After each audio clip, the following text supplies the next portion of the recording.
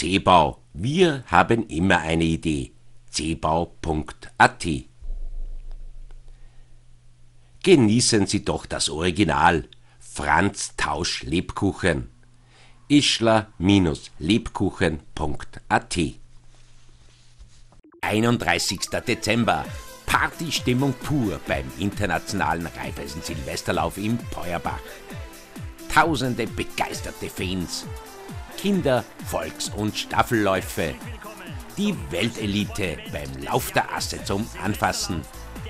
Zusehen, mitmachen, dabei sein. 31. Dezember ab 12 Uhr. Internationaler Raiffeisen Silvesterlauf in Peuerbach. High Champion Cup 2017-2018 in der Sepp Oeller Halle in Mattikofen. Das legendäre Nachwuchshallenturnier von der U8 bis zur U12 am 16. und 17. Dezember 2017 sowie am 24. und 25. Februar 2018. Noch gibt es Startplätze. Gleich anmelden unter 0650 840 16 78. Internationaler Baumit Junior Cup mit dem U15-Event in Scherding. Dort, wo sich die Elite des europäischen Nachwuchsfußballs trifft. Fußball bewegt, begeistert, vereint, schult, sozialisiert und integriert. Internationaler Baumit Junior Cup mit dem U15-Event.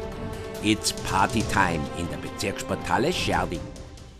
Vom 27. Dezember 2017 bis 6. Jänner 2018 mit dem großen Baumit U15-Event am Samstag, den 6. Jänner 2018.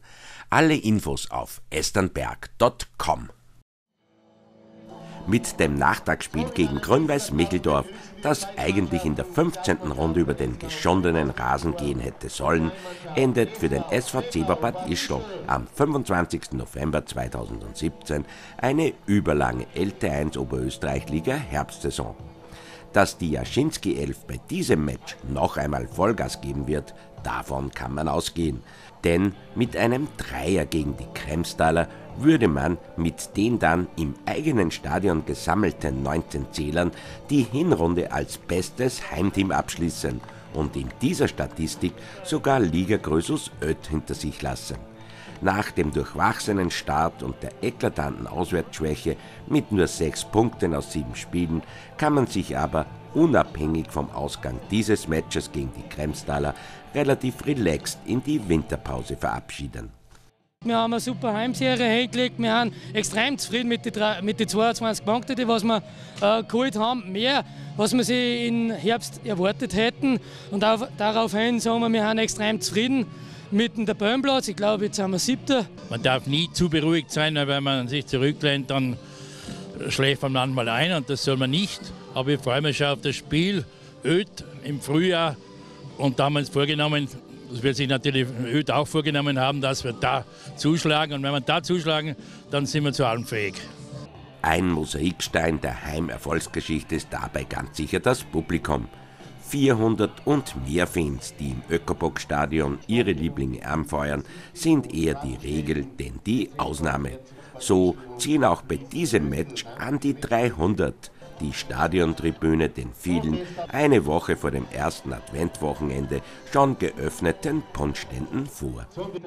Und gleich vorweg, die Fans haben damit eine gute Wahl getroffen, denn ihnen wird in diesem Nachtagsspiel so einiges geboten. So etwa dieser Angriff der Grün-Weißen nach genau 70 Spielsekunden.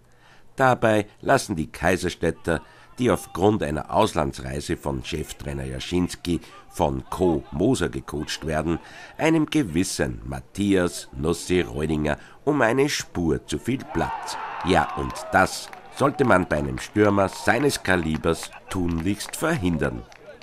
Zweite Minute, der SV Grünweiß Megeldorf geht mit der allerersten Aktion gegen den SV Zeber Bad Ischl auch schon mit 1 zu 0 in Führung. Nur zwei Minuten später ist Bad Ischl dann nahe dran, dieses Spiel wieder auf Null, besser gesagt auf 1 zu 1 zu stellen.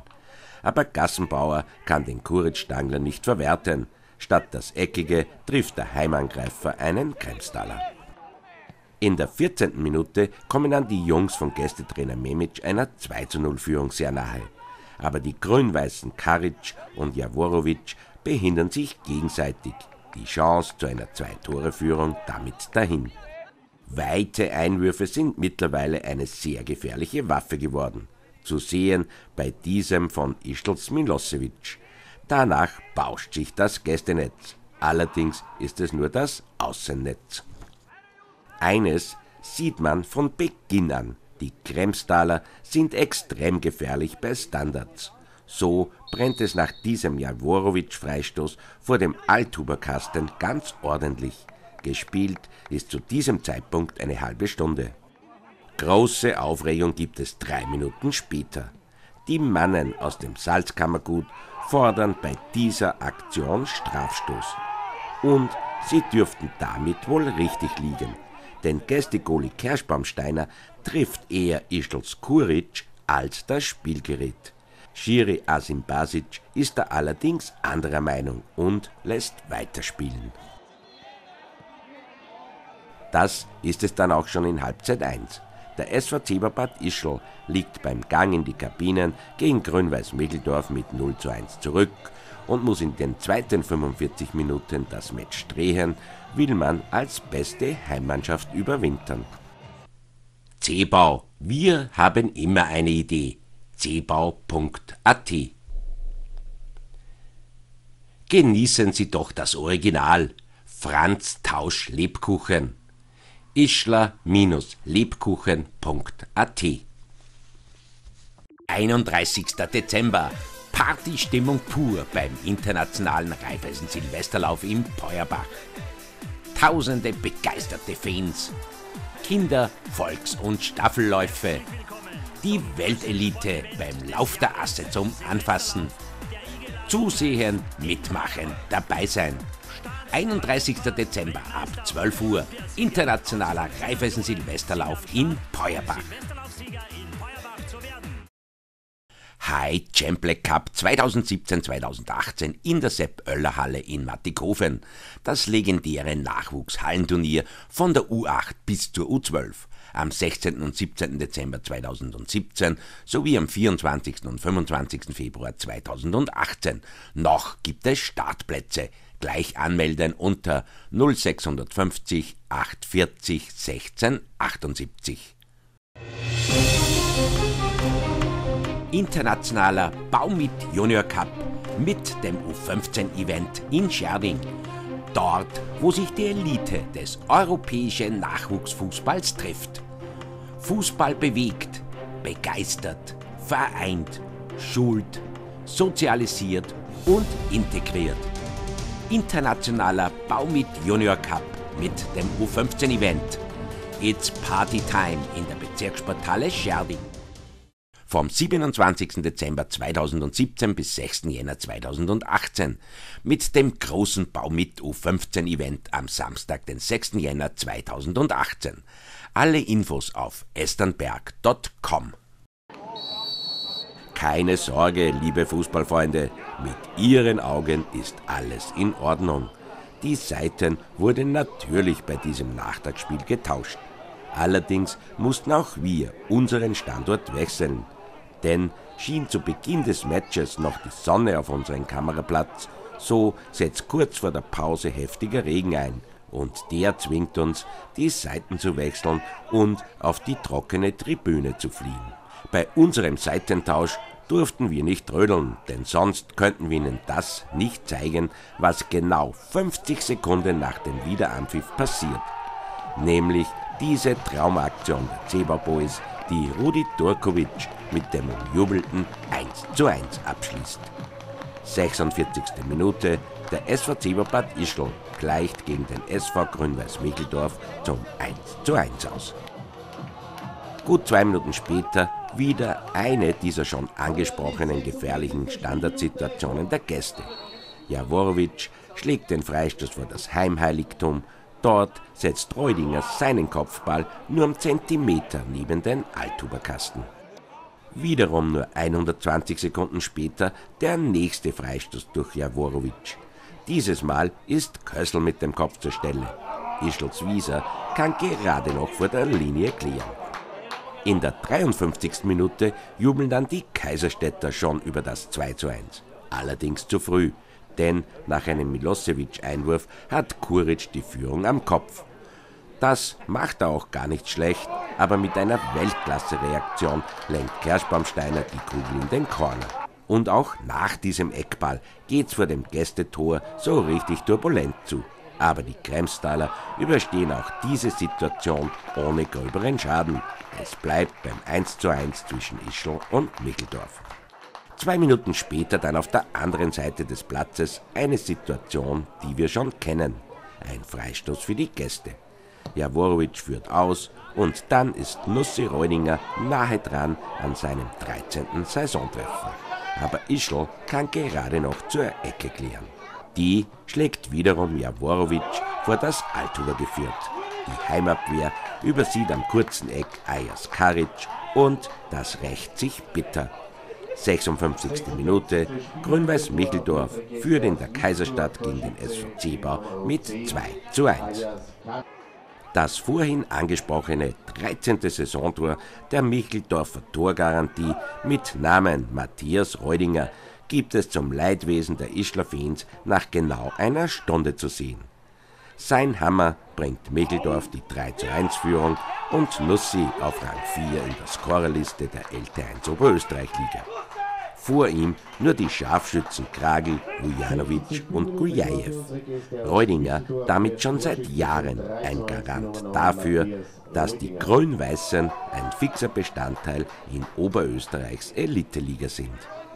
Ah, ich spiele nach wie vor gern Fußball. Also es gibt irgendwie nicht einen Alten und einen Jungen. Das ist auch das Motto bei uns. Äh, die Einstellung muss passen und, und, und der Einsatz und der Wille. Und dann bringt man auch über längere Zeit die Leistung. Ich glaube, dass das das Geheimnis ist. Nur zwei Minuten nach diesem 1 zu 3 Nackenschlag wird es für die Salzkammergutjungs dann so richtig düster. Ambrosch sieht nach diesem Foul zu Recht gelb. Diese Kartenfarbe kennt er aber schon aus der 13. Minute. Also kommt Rot dazu. Bad Ischl mit zwei Toren im Rückstand und jetzt auch noch mit einem Spieler weniger am Platz.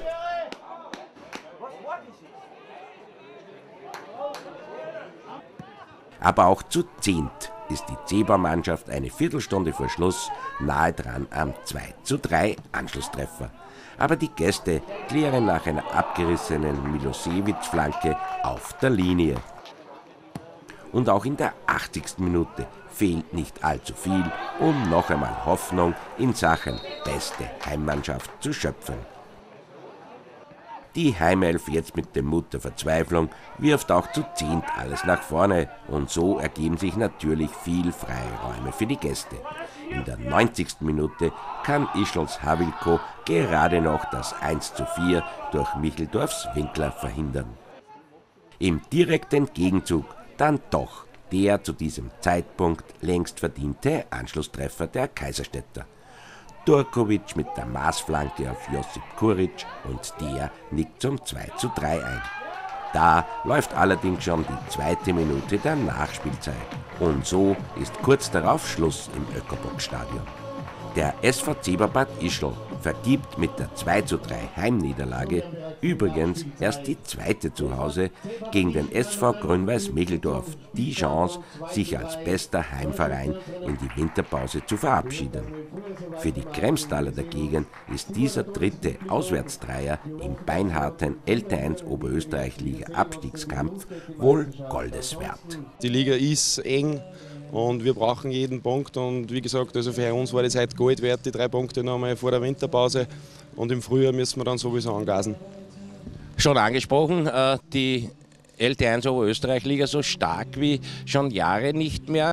Ja, auf alle Fälle. Es ist eine kampfbetonte Liga, in der man den Mann stellen muss. Und das haben wir auch heuer im Herbst wieder gemerkt. Also es geht ganz einfach schnell nach unten und auch wieder trotzdem schnell nach oben. Und wir wollen wieder nach oben in der Tabelle. Ich glaube, die letzten zwei Drittel, wie Sie gesagt haben, sind äh, total in Ordnung und ich ziehe einen Hut von unserer Mannschaft. Die hat äh, mitgezogen, wir haben jetzt den äh, 25. November. Es ist, glaube ich, nicht so einfach, dass man da die Spannung äh, so aufrechterhält und wirklich Hut ab von unserer Mannschaft. Die hat uns wirklich jetzt im Herbst äh, einige äh, schöne Spiele beschert und ja, da gibt es jetzt im Frühjahr die Devise, dass wir da fortsetzen.